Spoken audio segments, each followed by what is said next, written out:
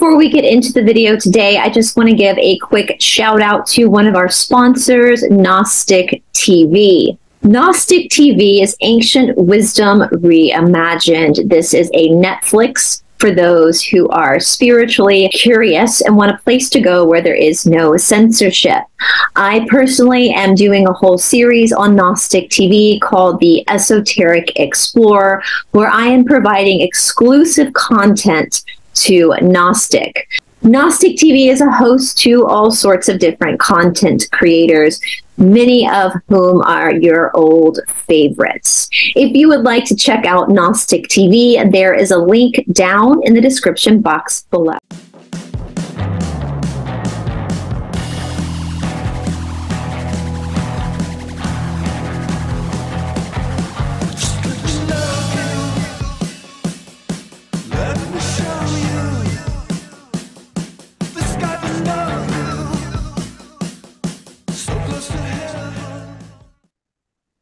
Hello, everybody, and welcome back to Esoteric Atlanta. Of course, my name is Brice. Today, we're going to be looking even deeper into the legend, the conspiracy around Louis Charles, the lost Dauphin of France, the son of Marie Antoinette, and Louis XVI, who, according to legend and conspiracy, survived his fate. We are going through the book of Daniel, which is a book written by a man named Stephen Payseur, who is, as legend states, is a descendant of Louis Charles, who ended up coming to the America, the New World, post-American Revolution under the name Daniel Payseur. So last week, if you joined us, I will place that video down in the description box below. Don't worry, you don't have to watch it first. I will give a recap before we get into this next section. But last week, as I was going through this book, I as I told you guys, I realized that this book is self-published, which is not a problem at all. I think it's great when anybody is willing to share their information in a big way but it's also really not only is it just self-published i don't even think that this book is necessarily the intention of it is to necessarily even tell a story. I think what as, as i thought about this more i think what stephen is doing a descendant of this guy is basically putting together all of his research into his own family and then handing it over to you. And so I can respect that. And so what I've done, as I told you guys I was going to do last week, is I've gone ahead and I've read ahead. And I've taken his research and I've done my own research on top of it. And you know, this is what I tell you guys to do with my stuff all the time. So I got to practice what I preach. Like whenever I put a deep dive out, I want you guys not to take my word for it. I want you to take that information and research it for yourself. You know, for many years now, in the last few years, we are very well aware that the mainstream media is not always honest. I think you would be pretty naive at this point to think that they're telling you the truth. Now, we learned that, and we learned that whatever the media puts out, we then need to go research for ourselves because we're probably not getting the truth from them. However, it's it's it drives me crazy because I see people who know that about mainstream media, but yet they hold a different standard to the quote unquote truther community or disclosure community where whatever a truther tells them they take as fact without researching that, which you know, both are lying to you. Like both are lying to you. And so what I think we, we need to take our power back, we have to look deeper into this. And so that's what I did. I'm enjoying this because I love a good conspiracy. I love a good legend and I love a good scandal. Again, I don't I don't really have an opinion on whether Louis Charles is Daniel or not yet. Um, it, to me, in, in my train of thought, it doesn't even really matter because if this particular family is puppeting the world, like legend states, doesn't really matter who they're descendant from. Yeah? Does that make sense? But it's still interesting nonetheless. Now, also with that being said, I feel like I need to clarify this on most of my videos. On this channel, so if you're new to this channel, we are very well aware of Tartaria, for example. I am very well aware of an alternative timeline. I've done a lot of shows about it. It's very intriguing to me but we don't know what the truth is, right? And so when we're looking at work like this, I am going to be going off of the mainstream narrative, the historical narrative that we are taught in school. I've said before that people have asked the Cassiopaeans, which is a board that I follow, they've been channeled for 30 years and yet to be wrong. Um, what our history is like. And basically, they kind of, and I'm paraphrasing, please go and research the Cassiopaeans for yourself. They basically have said they're both right, both Tartaria and the mainstream narrative that there's about a thousand years we have missing. And so what we think took, took expanded over 2,000 years only actually happened in a thousand years. So, regardless, we don't really know what the truth is about our own history. And so I think it's important that even we have the Tartarian narrative coming into our cultural psyche, that we also continue to look at the official narrative too, just so we don't get lost amongst all the you know, we, we got to keep our minds open to multiple possibilities. But again with this work more specifically we are simply going to be working off of the historical documentation. It's irrelevant to pull in tartaria into this because if the Tartarian timeline is true, then around this time historically would have been the mud floods anyway. And so I'm just going to leave the mud floods and Tartaria on the side for now as we look through what Stephen's research actually is. Now, moving forward, chapter four, chapter five, and chapter six are all different historical people that are very important to American history. And so the first chapter four, who we're going to talk about today, is a man named Peter Stuart Ney. And this is actually a man that I never heard of, so I thought it was super interesting to to research him. The next chapter is over a guy named Jean Lafitte. Now, for the Americans, especially those from the Southeast, you know who Jean Lafitte was. He was, well, he was a pirate right? We for people who are not from the United States, we got a lot of pirates. We had a lot of pirates down here in the southeast. Blackbeard went all up and down the southeast. I'll tell you guys a story quickly about Blackbeard because I know people know that name where my mother's from in Charleston, South Carolina, there is a for a long time there were the those old buildings. All the buildings are super old, and they the city had made this building into condos. Right, it was an old house that got turned into condos, and the story goes that people would move out of the, these condos really quickly. They move in and they'd move out, and they claimed that at night they would hear a like all night, like underground just this like banging all night and they couldn't sleep.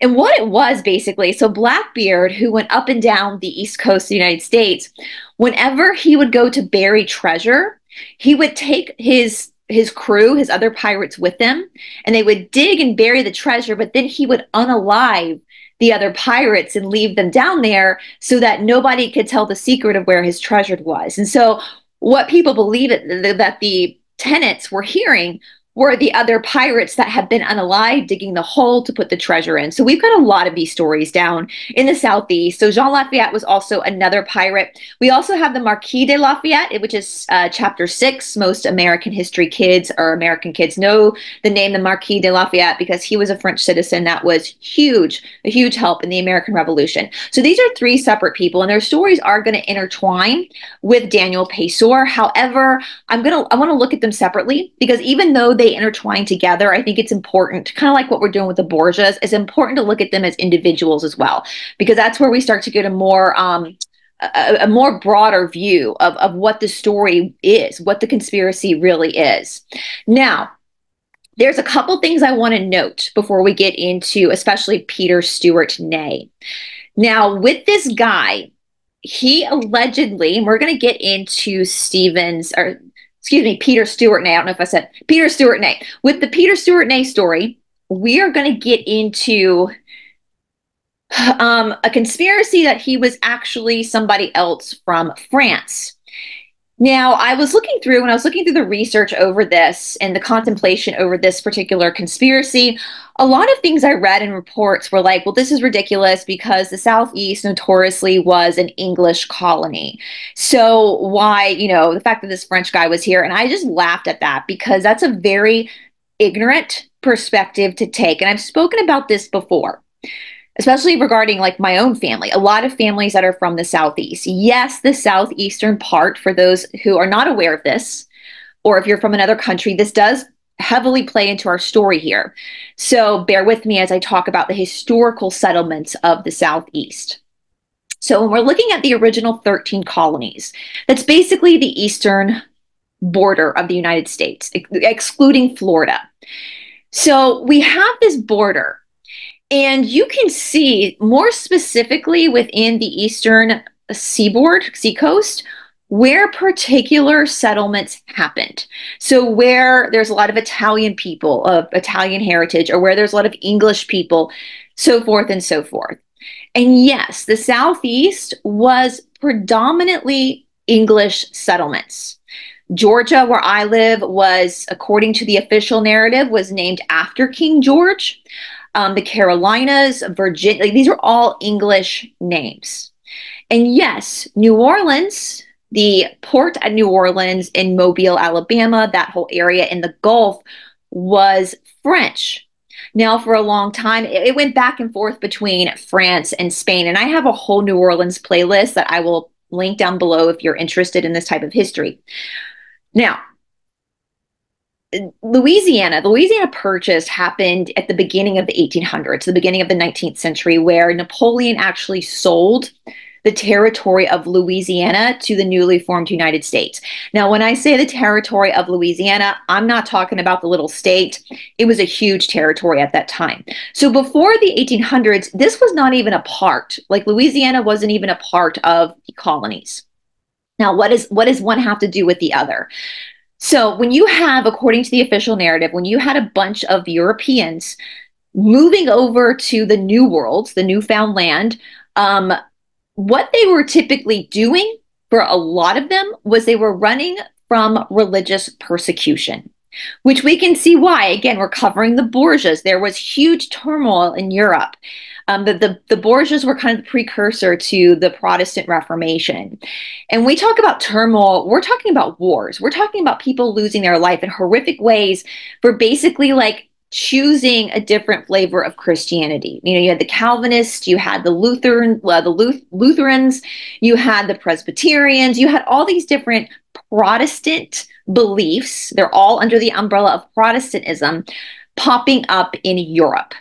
Now, even in France, more specifically, since we're talking about people of French lineage, you had what was called the War of Religions. We, again, we covered this a little bit with Catherine de' Medici. I'll put that down in the description box below. We covered this with Henri IV.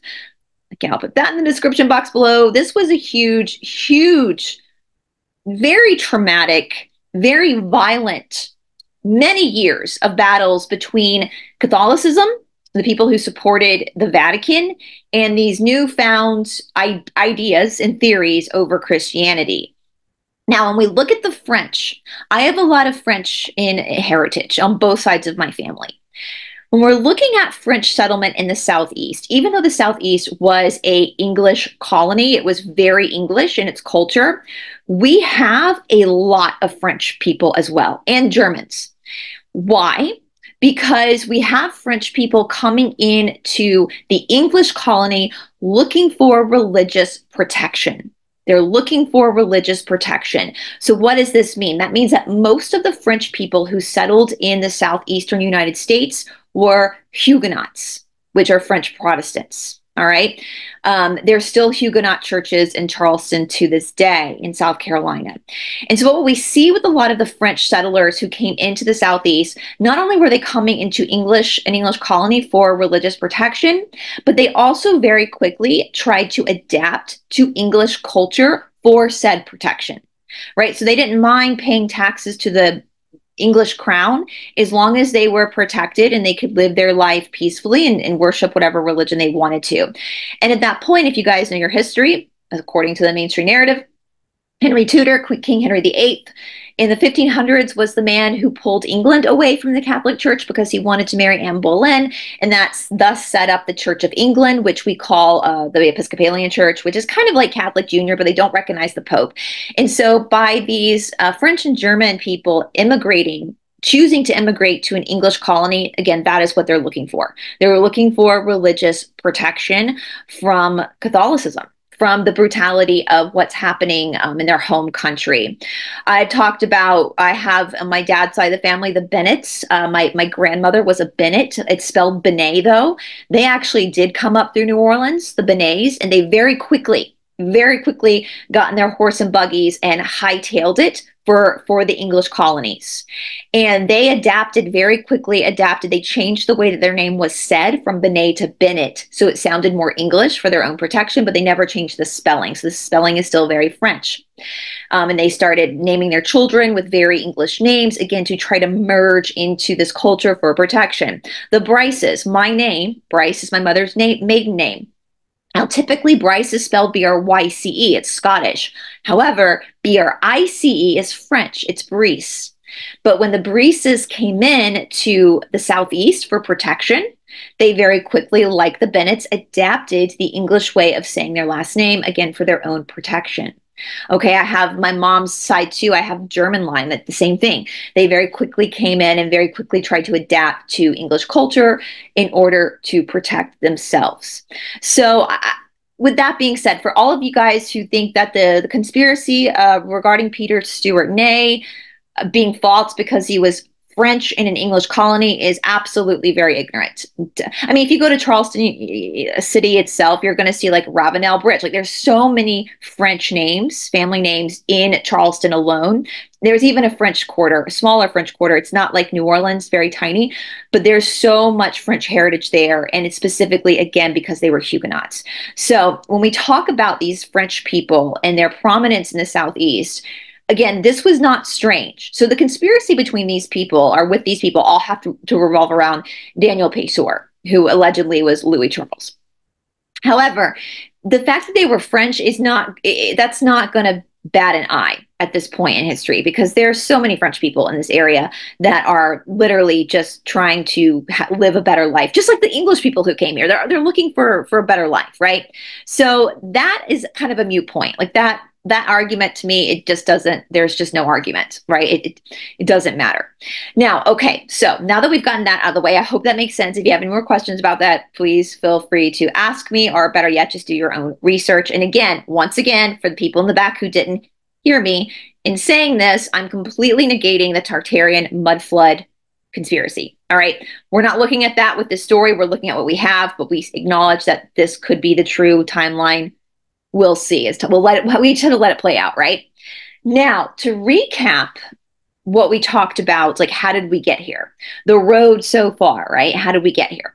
So again, this is about this whole, the whole subject of this book, of this research, revolves around a man named Daniel Payseur. And I'm going to be very careful. I might say his name more this episode than I did the last episode but you might hear me interchange his last name with the P family because this last name does trigger the powers that be. So I'm trying to be very careful with how many times I say that name.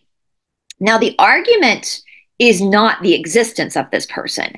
We have historical records that this person did exist. He was a man living in North Carolina in the late 1700s, early 1800s. Um, we know his descendants are here today. But again, we don't know for sure whether this man, Daniel, was legitimately a man named Daniel who was born to this particular family, or as the conspiracy states, the legend states, that he was actually Louis Charles, the um, son of Marie Antoinette and Louis XVI, after they lost their lives during the French Revolution. Again, my opinion doesn't matter. All that matters is, is there is if there is a family that's pulling the strings behind the scenes, that's controlling our world. We need to know about it regardless of where they descend from.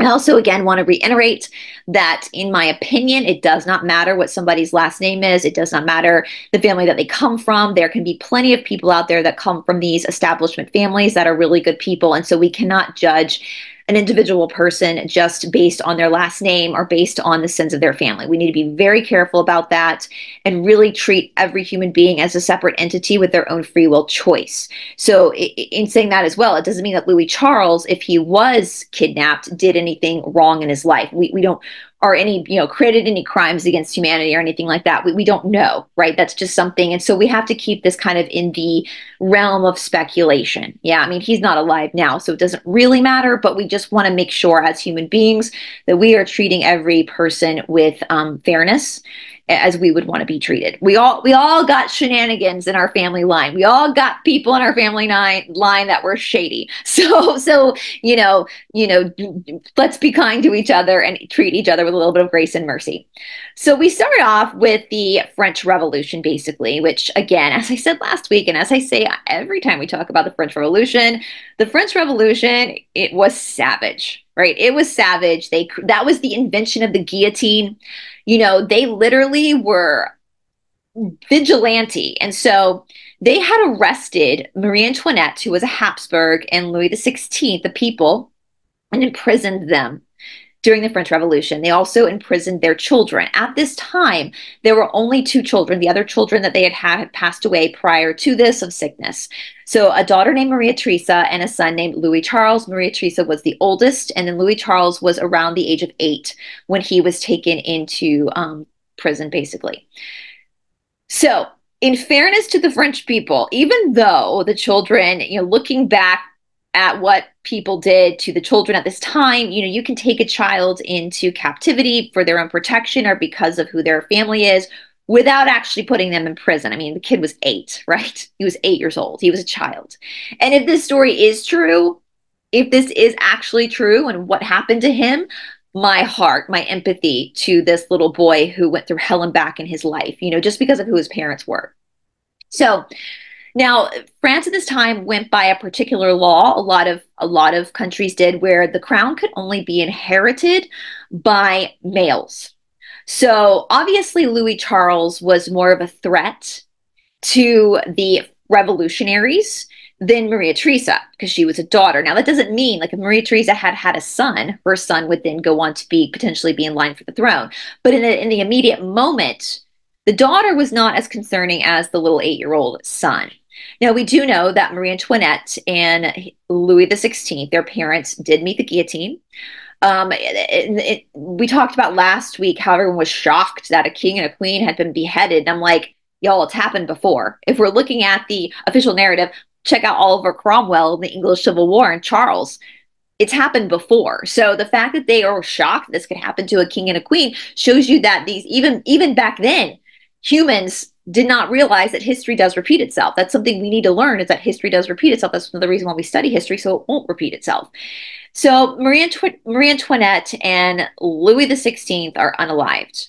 And so now we've got these two kids. And in fairness to the French people, they didn't necessarily hurt the children. Like they they imprisoned them in very awful environments, which is not good, but they didn't physically hurt the children, which I can say, you know, for as much brutality that was happening at that time, that's, you know, I think there was some, some tiny bit of compassion that these were babies, these were children. So Maria, Maria Theresa was exiled. She ended up marrying, later on, married her cousin, her first cousin, who was her father's brother's son. Ugh, that's gross. And he ended up becoming Louis the 18th um, after Napoleon, but that's a story for a different day. But her brother, Louis Charles, as the story goes, he was eventually sent to live with a, a family where he basically had the royalist in him like beaten out of him and he ended up dying of a sickness. So he didn't make it past according to the official narr- narrative he did not make it past childhood. But what this this story says is that because louis charles was the next in line for the throne the people who were loyal to the monarchy, the House of Bourbon of France, basically devised a plan to get to extract Louis Charles from the prison. Now, once Louis XVI was dead, that automatically made it made Louis Charles Louis XVII. So that's why his brother became Louis XVIII it looks like we're missing, we're skipping a number. No, it's because immediately he became Louis the 17th. Now, according to this research, what they did, because the daughter cannot sit on the throne, they have to extract the son. These are people who are loyal to the monarchy. They want to put the monarchy back on the throne of France. So a handful of people we're talking about worked with some of the prison guards, a, a man and wife, to get the kid out. So what they did is they went and found a cousin of Louis Charles, who resembled him, who was already sickly. Like that's kind of barbaric, right? Like they were like, this kid's going to pass away anyway. They're around the same age. Let's use this to our advantage. And so while in prison, Louis Charles was granted some toys. One of these toys is a good old fashioned rocking horse. I think we've all had rocking horses for, for hundreds of years now. I had a rocking horse and Barbies, you know? And so what they did is they got this rocking horse and they put the sick cousin inside, they drugged him and put him inside the rocking horse to get the rocking horse shipped into the prison. Once it got into the cell, Louis Charles Charles's cell, they got the cousin out and they switched their clothes. So they put the royal clothes on the cousin and they put peasant clothes on Louis Charles. They put Louis Charles into a laundry basket, put dirty clothes on top of it so that the laundry could be taken out with the lawn, lawn laundress, with the woman doing the laundry, which who was in on this extraction. And I laughed. This is like the story of Annie. If you know the story of Annie, she goes out in a, in a laundry basket too. So good thing to know if you need to escape a prison just get in the laundry basket and so he's taken out of out he's brought to um, allies of of the monarchy where he then is thrown with one of these allies where he has to go to like these wars in Egypt, which I mean, as I'm saying, bless this kid's heart. I mean, the trauma that this child went through is not lost on me. As Napoleon is starting his wars all over Europe, there is speculation at this point that Louis Charles might have escaped. Now, meanwhile, the cousin who's pretending to be Louis Charles has passed away. And so people think that he is gone. Now, Stephen does put in his book, in his research, that many years ago, the boy who was given the grave of Louis Charles was was taken out. They, they they they did exhume him and they tested his DNA, and his DNA does match the mitochondrial DNA of Marie Antoinette. However, that doesn't really mean anything because the cousin would have also had that same mitochondrial DNA because it was coming through the mother's line. So all that proved is that the body that was in this grave was a Habsburg, was related to the Habsburg family. Doesn't prove it was Louis Charles, and certainly doesn't prove that it or disprove that it was the cousin. It, it basically it could have been both of them. So you know we kind of hit a dead end with DNA DNA testing on that particular body. So the legend again goes that Napoleon has become aware that Louis Charles is alive and that the child that was buried as Louis Charles was not Louis Charles. And this is concerning to Napoleon because if, if one of the heirs to the throne of France is found out to be alive, there could be way more of a pushback against Napoleon because they have now they have someone that according to their laws of divine right should be ruling france so at that point, in the meantime, let me back up a little bit. In the meantime, the guy who's like attending to him and guarding him has passed away. And this guy was quite wealthy, and so he left Louis Charles with a good bit of money, about a million dollars in today's in today's world, you know. And so Louis Charles, who's still like a teenager, is has this money now, and now Napoleon knows he's around, and so his his protectors contact King George, Mad King George, who was the king uh, that the Americans fought against in the American Revolution and his wife, Queen Charlotte. Queen Charlotte herself was related to Marie Antoinette. She was a cousin of the Habsburgs. And so they reach out to this monarchy and they say, hey, we have Louis Charles. He needs protection. Can we bring him to you? And so Queen Charlotte takes in her cousin's child and brings him into to the court in England for his own protection. In the meantime, we have this Payseur family, and it goes into detail about what that name means because we know in in, in olden times our surnames became um, significant over what our parents or our, our, ancestors did. And basically, from what I understand, the name Payseur kind of basically means like an accountant. He, this guy was the guy that was paying the bills for for the king. He was responsible for keep, keeping up with the books and giving the, you know, paying people what, what they were owed for their services to the monarchy. And this particular family had been in service in the royal court of France and now was in the royal court of England. And so they, Charlotte and King George, decide, devised a plan because it's also you know, the American Revolution has just been fought, and America did something, the colonists did something that nobody expected, and they basically kicked a monarchy's ass and won their independence. And so there's also this underlying tension amongst all these houses, these royal houses in Europe about this. And obviously that played out in France, right? We saw the downfall of the House of Bourbon. So you would have to be an idiot to not be a little bit paranoid if you were in any of these monarchies, knowing that this has now happened twice. Okay. So they've taken this family member in and now they're going to devise a plan. And so they talk to the Payseur patriarch and they say, Can you adopt this little kid as your son and take him to America? So they agree. And Louis Charles at that point changes, according to the story, changes his name to Daniel Payseur.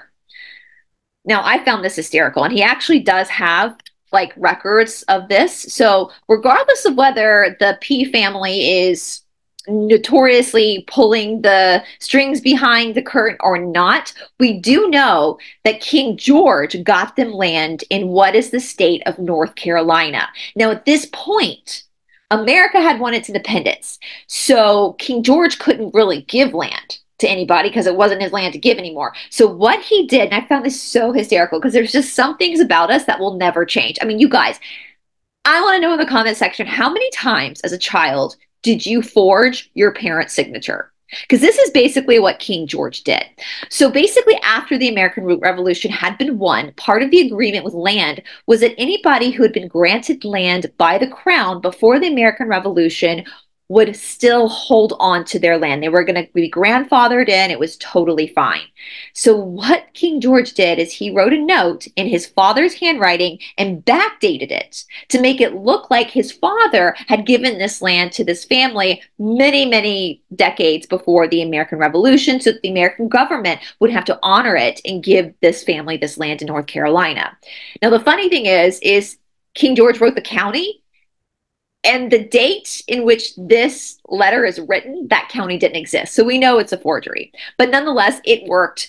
According to legend, they ended up in North Carolina where they settled and where they started growing their family. The, the descendants of Daniel became the puppet masters of the world of the world you know in the in the first part they talk about the scuffle between France and Spain and borders and how the Payseur family came to be that doesn't matter to me because we all come from everywhere and you know we're looking at the house of bourbon really. Just because he's taken another name doesn't mean that he originates from that name right? He is the house of bourbon if this story is to be believed. And so today we're going to be talking about again Peter Stuart Ney who is another I, I, this is the one I'd never heard of before, and I was like, "You've got to be shitting me!" When I was reading this, I was like, "This is as Mark Twain said, it wrote, The truth is stranger than fiction. This is a wild story on its own. We're either looking at a huge cover up, another fake death, or we're looking at schizophrenia in like the 1800s. Okay, delusional disorder. So now let's let's move forward. We understand how we got here, like how Daniel ended up in North Carolina. We know how how they got here from France he was supposed to be put back on the throne. That didn't happen because of Napoleon. So he gets moved to America under a fake name. Meanwhile, as stuff's happening between Napoleon and the royal family, his uncle Louis XVIII comes onto the throne. Again, that's a different history, but we're going to focus now on Daniel. His role was to eventually go back on the throne of France. That didn't happen. So he's now an American living in America in a in a colony that was English. So there's a lot of English culture. However, just because it's an English colony, there's a crap ton of French people here too. So he does he does blend in with his accent, with everything. Of course, at this point, the child probably does speak English because he's been shuffled around living in the English court, but he probably still has a slight French accent. French accent, if I had to guess. Children typically lose their accents. Like if you move a 10 year old from England to America and they spend the rest of their life in America, their accent is going to change. That's this, the same can't really be said about adults, but I, imagine he still had a hint of a French accent. Again, not weird for this area. Not weird, not weird. All right, so now let's pick up with Peter Stuart Ney. All right. A ship pulls into the Charleston harbor in January of 1816. It's where my family's from. I think at this point, though, it was still Charlestown. It eventually became Charleston. And again, Charleston, South Carolina, a lot of French people. So the fact that this ship coming from France is docking into the Charleston harbor, not weird at all. Not weird at all. Disembarking from this ship was a tall, thin man, man who identified himself as Peter Stuart Ney. He didn't stay in Charleston very long. Several people there approached him and asked if he was Napoleon's top general, Marshal Michel Ney. He vigorously denied it and soon left Charleston for good. So, Charleston, South Carolina is a state that's directly south of North Carolina. Okay. I'm originally from South Carolina. He became a teacher, and for a short time, he st- he, he ugh, let me start that again. He became a teacher and for a short time taught at an academy in Lincoln County, North Carolina, near present day Denver, North Carolina. He eventually moved to Rowan County, North Carolina, and remained the remainder of his life there. This is the area where the Payseur family also lives, okay? There is no doubt that Peter Stuart Ney was a Frenchman. The accent was unmistakable. He was also regal and bearing and was an expert at fencing by all accounts. So, who was Peter Stuart Ney, and what is his significance to this story? Many people believe that he was actually, again, Marshal Michel Ney, Napoleon's general. However, the historic documents state that, that Michel Ney was executed by in France in December 1815. In December of 1850, Marshal Michel Ney was led to the Luxembourg Palace Gardens to face his unaliving. I won't say it again. This in itself was unusual, as the normal means of unaliving in France at the time was the guillotine. The location of the unaliving was also unusual. At the last minute, the location had been changed to the Palace Gardens. This meant that there would be very few spectators, as most had now gone to the previous announced location. So there's some shenanigans happening with how they're going to unalive him. It's there's some confusion and it's not the typical, although I would rather be unalived this way than the guillotine. The guillotine scares me. Ney, wearing a dark suit, walked into the garden. He wore no restraints and was not tied or chained. He walked to the wall, turned to face the squad. That's all I'll say. I'm careful about what I say here. Stepped three paces forward, stopped and raised his hand. To command uh, the command to the present arms is given, and Ney returns to salute the man. He then walked over to the presiding officer, Major de Saint Baez, and spoke briefly with him. Major de Saint Baez gave command, ready, aim, and the command to fire was from Ney himself, bringing his hand down sharply to his chest. I don't know how that's done. If you if you are in the military and you know, you can like tell us how this would have looked, let me know. I'm, I've never been in the military, so, and I don't know if they even do this anymore, but let us know. When the order, order to was given from 12 rung out only 30 feet from where Marshal Ney stood. And for those who are new to the internet world, YouTube has very strict, I didn't mention this beginning, very strict terms and services about certain words we can say. And unfortunately, a lot of these words regarding people being unalived in here. So I, I think you guys know what I mean when I do this. All right. Ney had fallen forward. The official report to King Louis XVIII, so Louis Charles's Louis Charles's paternal uncle, his father's brother, stated that 12 musket had struck Ney, unaliving him instantly. Being hit with 12 from 30 feet or less would have propelled him backwards, not forward. Marshal Ney's body was placed on a stretcher, covered and removed from the garden. The body remained in the hospital until 6 o'clock the next morning when it was removed and buried in a secret location. Another mystery during this entire time, during the unaliving and the body's response in the hospital, his wife of 13 years never came by. By all accounts, she loved Marshal Michel Ney very much but she never saw him after he was unalived. Questions began to arise as to whether Marshal Ney was actually unalived. For 200 years, these questions have bothered many historians. But maybe there is an answer to these questions. So, this is not just, this is what I found fascinating. We're going to get more into this, into my own research into this dude.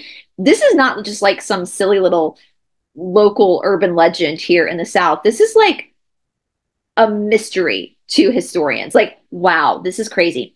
So, why was Ney unalived in the first place? When Napoleon began his conquest of most of Europe, Ney was one of his top generals. In fact, Napoleon had once remarked that Marshal Michel Ney was the bravest of the brave.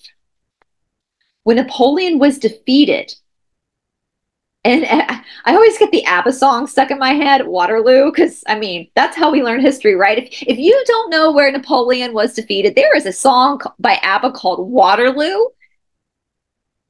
you will never forget where Napoleon was defeated after you, if you if you're young and you bless your heart if you're young and you've never heard the song. It's a great song. It's how ABBA got famous.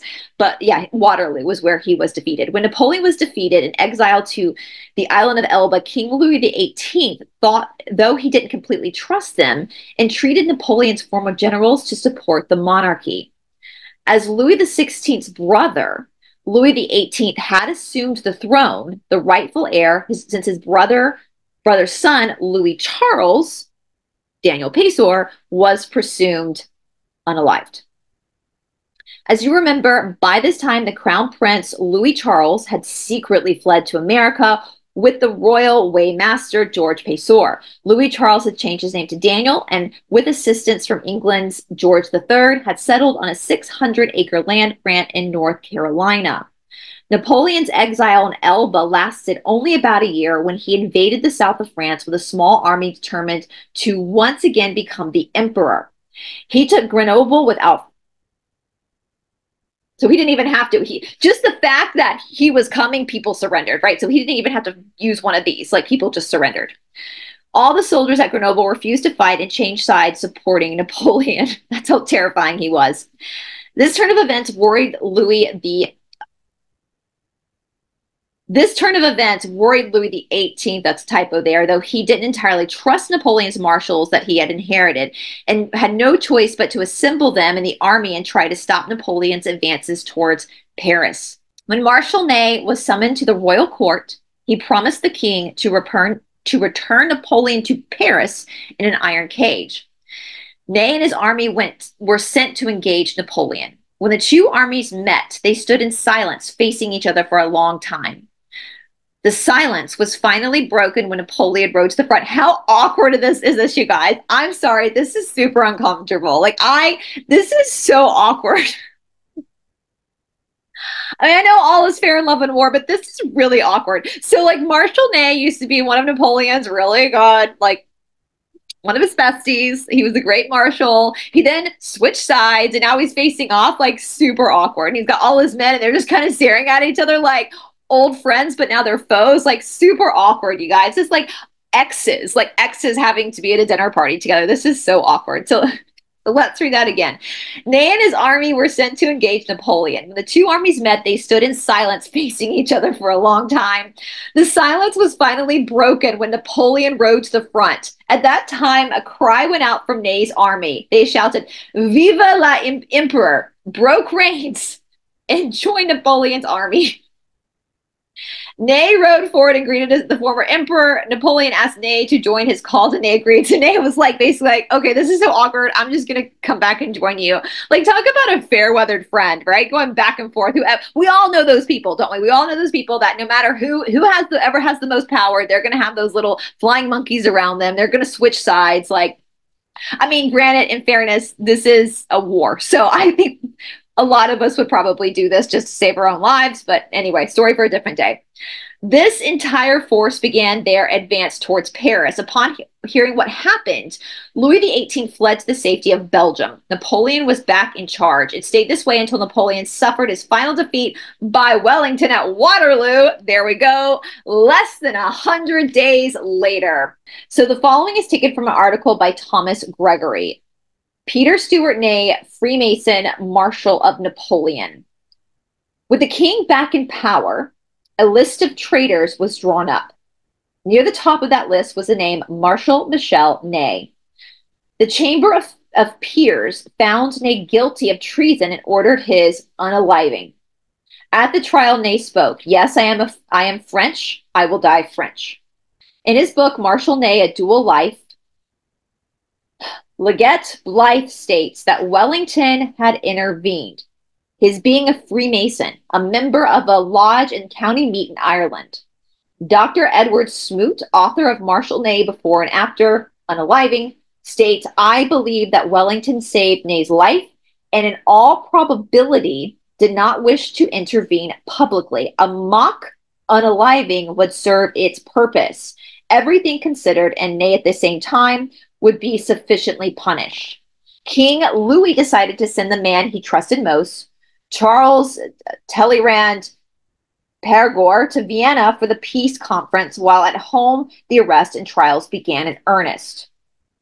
So, Charles served as an, an ambassador and a minister of foreign affairs. He helped he helped he helped form the provisional government, but by late 1815 was forced to resign due to the hostility of the Bourbon nobility. So Bourbon, that's that's family, that's the, the Louis, right there, the Bourbons. So Charles was a Freemason, a member of the Nine Sisters Lodge in Paris. The same lodge as many of Napoleon's generals, including Marshal Michel Ney. So Charles, the French guy, and Wellington had met on so many occasions and were cordial friends through the Freemasons. So Charles had much to do before heading to, to Vienna. Growing concern for Napoleon's officers and their families prompted a secret mission where he visited England to secure cordial relations between two former enemies. So the French guy, Charles, did all he could to secure cooperation, and he escaped and subsequent safe passage for the French officers to Quebec, Britain's French speaking province in North America. So, Quebec. He was unsuccessful as the king, George, refused any official participation in such a plan. Another way would have been found to save Marshal Ney and others. So, they were trying to send him to the French territory of Quebec, which was under British control, as Canada is still under British control. So, that was the first plan. But obviously, that's not going to happen. So we're on to Plan B. Within because you know a French uh, Freemasons will be very loyal to each other and will save each other's asses, right? Within a few days of returning to France from Britain, the French guy Charles boarded a ship for America. While in Philadelphia, he visited the grave of Benjamin Franklin to pay his respects. I've been to that grave many times. It's just a grave. You can throw pennies on it, make a wish, whatever. The time has finally come for repayment of debt involving Franklin's fellow Masons of St. John's Lodge in Philadelphia. So he's going to find other Freemasons to help out. During Franklin's nine year stay in France at Benjamin Franklin, so at, at the first U.S. as so let's let's start that again. So we're talking about Benjamin Franklin now, one of the main founding fathers of the United States. A lot of speculation on whether this guy was actually good or not. That's a story for a different day, though. What we do know, we do know Benjamin Franklin was indeed a Freemason, as they all are. During Franklin's nine-year stay in France as the first U.S. ambassador to France, he became very popular with the French people. He was active in the Nine Sisters Lodge, so the same lodge where Marshal Ney was also a member where arrangement, arrangements had been worked out in private for military assistance during the War of Independence. All right. So this is going to get us into in a couple weeks into the Marquis de Lafayette. So I said this last week. For the French people watching, I know I've got some really killer cool French people watching me. Do not let the controllers divide us because the colonists, my ancestors, here in the United States that were patriots who fought in the American Revolution. Some of them were obviously were also of French descent. And you guys, your ancestors, were thick as thieves. The French people and the American colonists, they did it all together. Right? France sent people over to help the Americans fight in the French Revolution right? So the fact that Benjamin Franklin was liked by the French people is not shocking to me. I know they're trying the propaganda to divide Americans from French, the French people, but like historically, yo, we, we're like besties. Like we've literally, we're like a gang. we've literally helped each other out and we've literally supported each other. And my heart to my French people watching, I support you guys and I want you guys to be independent. I want everybody in the world to be independent. I think I think most of us now know that it was never our country. It wasn't it was never the people of the countries against each other, right? As I said earlier, a lot of French people came to the English colony in the southeast for protection to because the English people were Protestants. And you know who protected all the French people and were welcoming them? English people. Brought them in, protected them because they wanted the same moralistic religion that they did. So the people of this world, we all like each other. We all will protect each other. We want life, liberty, and the pursuit of happiness. We want everybody to be free. It's the establishment. It's the establishment that has pinned us against each other. And now we're starting to see that, aren't we? It's never us versus us. It's always us versus them, the establishment. Okay. So this is not shocking to me with Benjamin Franklin being so popular in France and why a lot of like the Marquis de Lafayette, like a lot of the French people who helped us in the American Revolution were popular here in America. All right. So let so and again, so Benjamin Franklin is highly loved in France. He's a famous guy at this point. He's a politician here in America. He's one of our founding fathers. He is now the first U.S. ambassador in France. He's also a part of the lodge the Masonic Lodge that Ney is a part of in France. So they know each other. He's also using this time for support. Like he's getting more and more support. We're going to have the War of 1812 as well in the United States, which was like a second little, little tiny American Revolution. It's where our national anthem comes from. So this is all making sense historically and the way that people perceived each other culturally back in this time. So let me read this again, okay? During Franklin's nine year stay in France as the first U.S. ambassador to France, he became very popular with the French people. He was active in the Nine Sisters Lodge, where agreements had been worked out in for private military assistance during the War of Independence. The Masonic kindness experienced by Franklin many years before would now be reciprocated in Philadelphia. So, you scratched my back when I was in France, I'll scratch your back here. So, with the assistance of the St. John's Lodge members, numerous French military officers would be helped to enter the United States at Baltimore and Philadelphia. These are harbors that, well, we know the Baltimore harbor, right? That was just on the news a few months back. These are harbors that are pretty close to each other on the East Coast. Then they would disappear into the countryside, most likely in French speaking areas of South Carolina, there we go, and Louisiana. So there we go, South Carolina, French speaking areas. So what significance, what is significant of Peter Ney being Marshal Ney and traveling to live in a particular area of North Carolina? Taken by itself, there would be no real significance. It would simply be an, a, a coincidental occurrence. However, there are several things that appear to be more than just a coincidence. It may be suggested that Marshal Ney wanted to live anonymously for the rest of his life and choose this royal area in order to not attract undue attention. And if attention had been drawn to him, the remoteness of the area would significantly hinder word of his presence from being from leaking out. But why this particular area? Were there not equally remote places in the United States that would serve him just as well? Of course there were. And for anybody who's looking at a map right now of North Carolina and you think, how is this remote? It's so close to the coast. So the coast is just a very small part. You got Appalachia. Like you go, you go a few miles inland and you got Appalachia, right? So this is where this is taking place. We've talked a lot about Appalachia, especially on my series on Gnostic TV on the Esoteric Explorer series.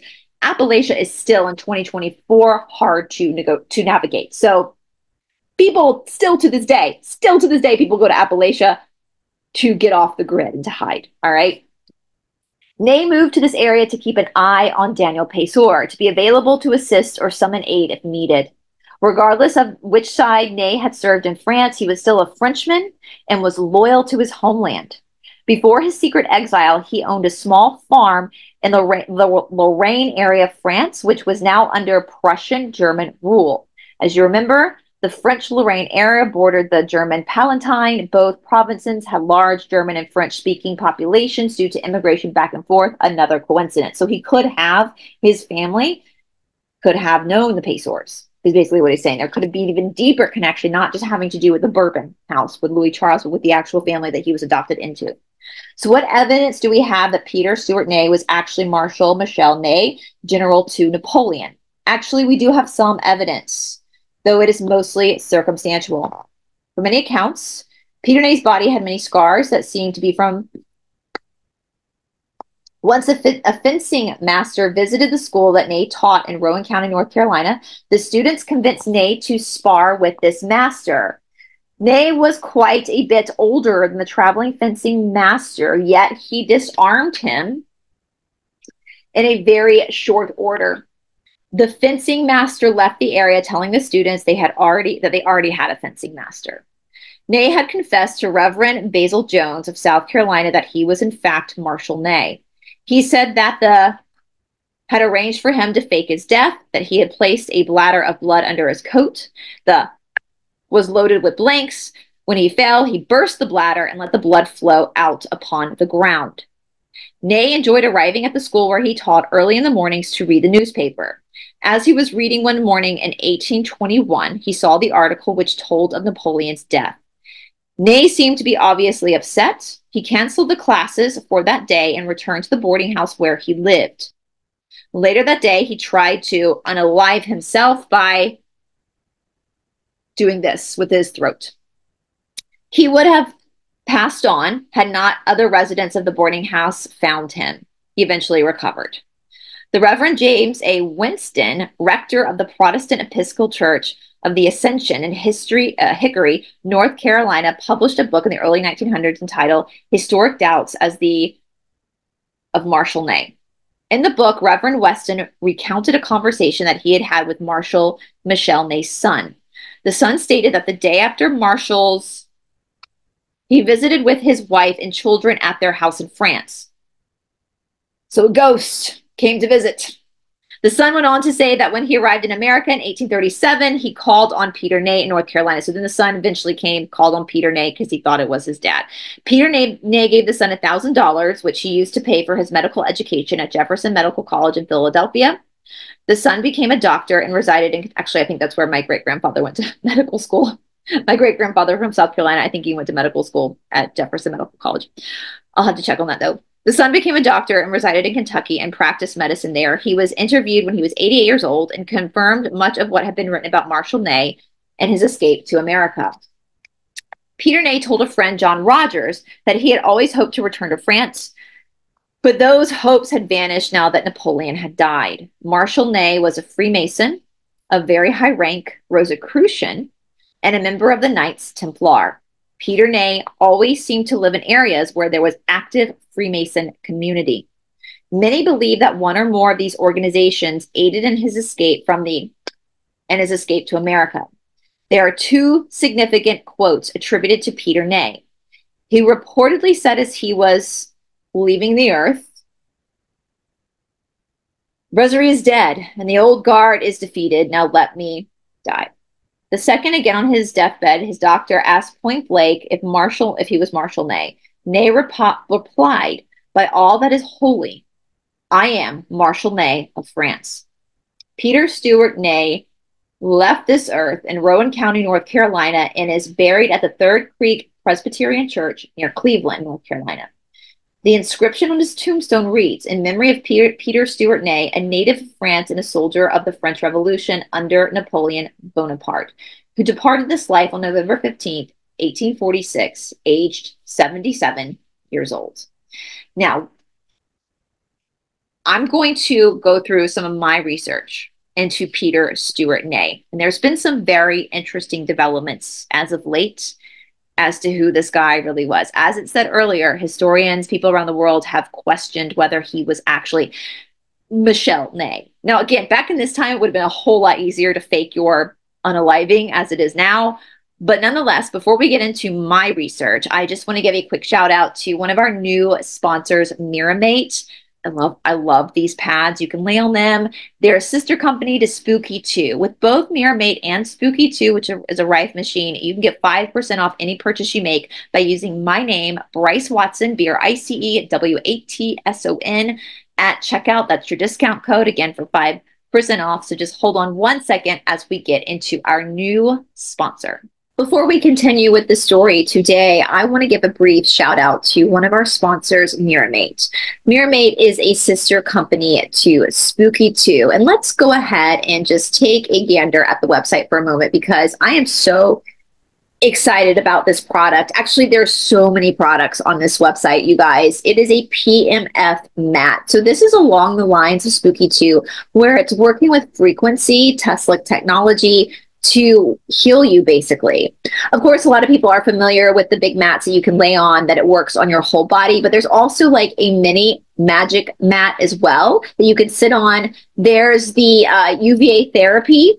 Um, we also have these things, these MiraMate Mini Magic. You can take, you guys, you can take this on a run with you. You just clip it to your outfit or hiking, and it helps keep your body from basically falling apart while you are doing what you love to do. Analog PEMF therapy involves the use of devices that emit low frequency electromagnetic waves. These waves are designed to penetrate the body and stimulate cellular functions. Unlike digital PEMF devices, which generate pulse signals using digital electronics, analog PEMF devices produce continuous and smooth waveforms closely resembling the natural magnetic fields found in the environment.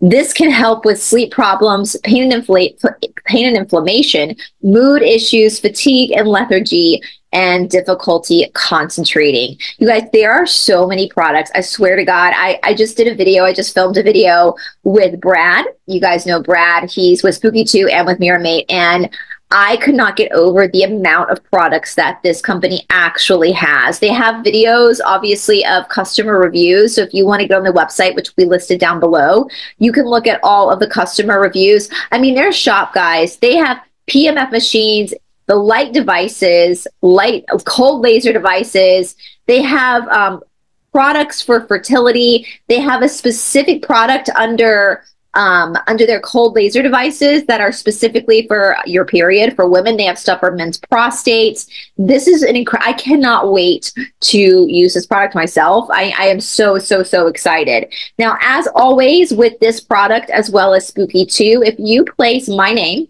Brice Watson, B R I C E W A T S O N, at discount, discount code, you will get 5% off of your purchase, just like with Spooky 2. So, as always, everything will be down in the description box below. As MiraMate, just like Spooky 2, has incredible customer services. They are really an incredible company. They've treated me very, very, very well. I know from some of you who've reached out to me, you tell me that they actually were so good to you as well and they helped explain things to you and helped work you through using the product. So, if this is something you're interested in, I would absolutely encourage you to try this product, get in touch with Brad and go ahead and explore the website. There's so many options, different price points of things you can do, and it's an excellent way to get your health back. All right, you guys, let's get back to the scandalous and juicy deep dive. All right, you guys, let's talk about Peter Stuart Ney. So, again, I took Stephen Payseur's research on Peter Stuart Ney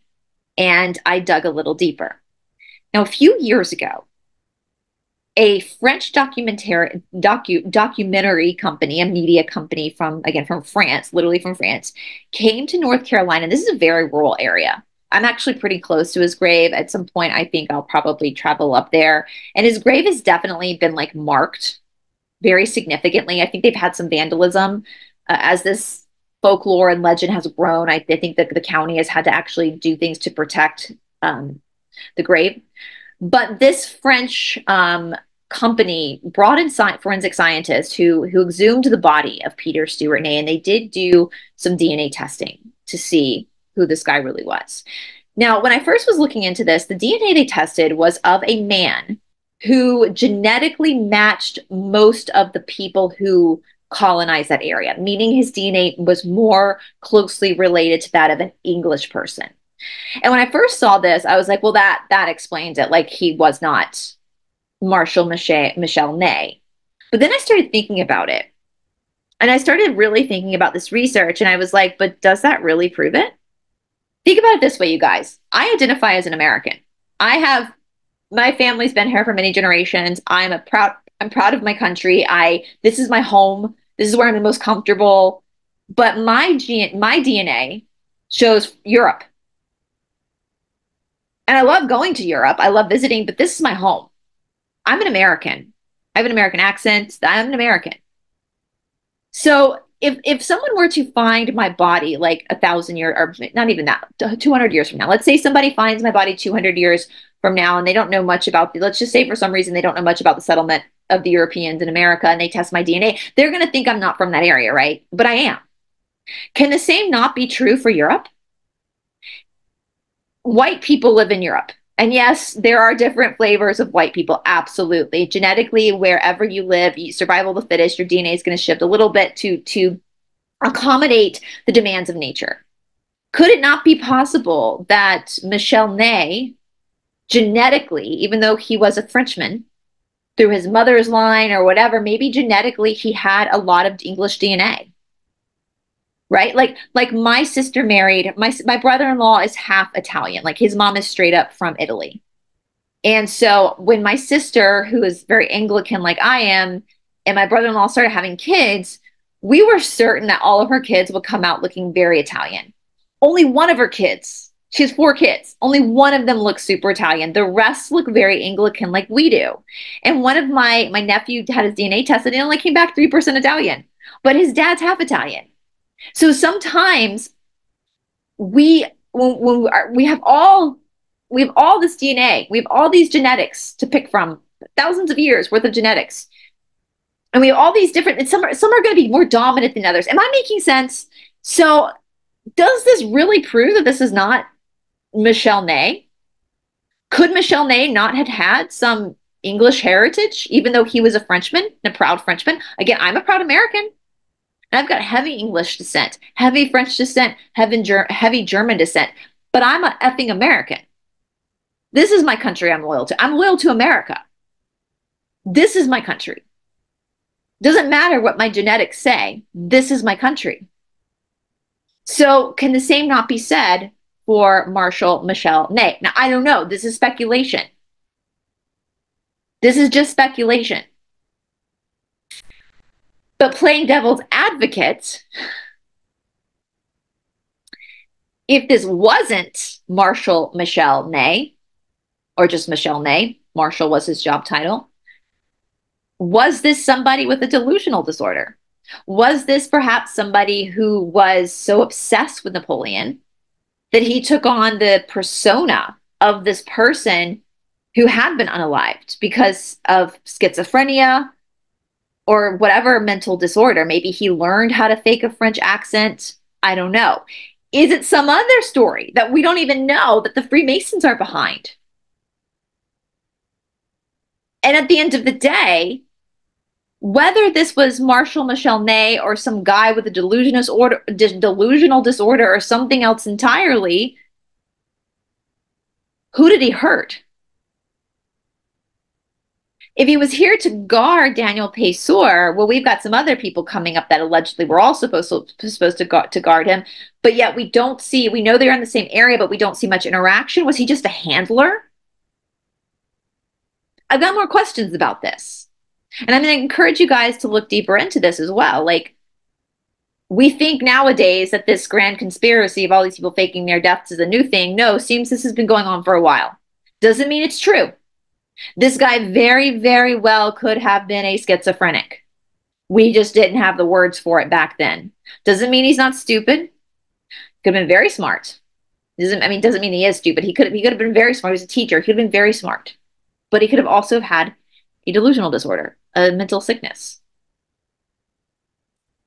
Is it just a coincidence if he was delusional that there were lots of lodges? There are lodges literally everywhere. Be careful about how you write that down in the comment section, guys, just to be weary of the powers that be.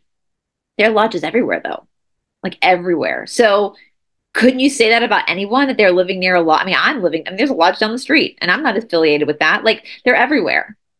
What does that have to do? What does one have to do with the other? Unless the story with Benjamin Franklin is correct, but could that also be junk conspiracy? Could that be embellishment? Happened a very long time ago. And my big question, I saved this for the end. Why not just exhume Marshal Michel Ney? Seems like we would solve a lot of problems if we just went to France and exhumed his body. Why does it all rest on Peter Stuart Ney? unless the powers that be know something about the burial site in France that they don't want the rest of us to know. This is purely speculation, guys. I am open to any possibility. I am not invested in this guy being who he says he was or a crazy dude or I'm not invested in any of this. I'm just looking at all possibilities. And so now, with that being said, I thought that chapter was pretty thin and we would go on to Jean Lafitte. But again, as I started doing my own research, I was like, oh hell no, we gotta we gotta stop and pause on this for a moment. And I'm gonna encourage you guys, please go research this. If you're from France, let me know. Let me know. Send me pictures of Marshal Michel Ney's burial site. Let me know what you've heard. Because obviously this isn't just a, a United States conspiracy. It's if the French people came over here and hired forensic people to uh, dig him up. This is obviously a very concerning conspiracy that's bigger than just the United States and is bigger than just France. This is something that's like, whoa, whoa. So, anyway, let me know what you guys think down below. Um, I'm so excited to get into Jean Lafitte because I love all the, the pirate stories that we have here in the Southeast. And it's a way for, for me to talk about my own culture, where I come from. In case you guys ever want to visit us down here in the South, I've lived all over this world. I've lived in so many different countries. I've traveled all four corners of the world. And I always say, I'm so glad that I was born in the Southeastern United States. Being from the South is one of the biggest gifts that I have been given in this world because it is literally the most eccentric place that you will ever be from. We got people walking ghost dogs everywhere. We've got hauntings everywhere. We got pirate stories, voodoo, hoodoo, everything, you name it. We got feral people in Appalachia, Bigfoot, all sorts of stuff. And so I'm so excited to get into the fo- folklore behind Jean Lafitte and see where this pirate story collides with Daniel Payseur. All right, you guys, that's for next week. Again, a link to this book will be down in the description box below if you want it. Otherwise, I'm reading through it myself, and you can just take the, this and do your own research in the Google machine or the DuckDuckGo machine. Otherwise, the book is there. And yeah, cannot wait to hear what you guys think down in the description box, or excuse me, the comment section below. All of our sponsors, everything else is in the description box. And I will talk to y'all soon. Bye, everybody.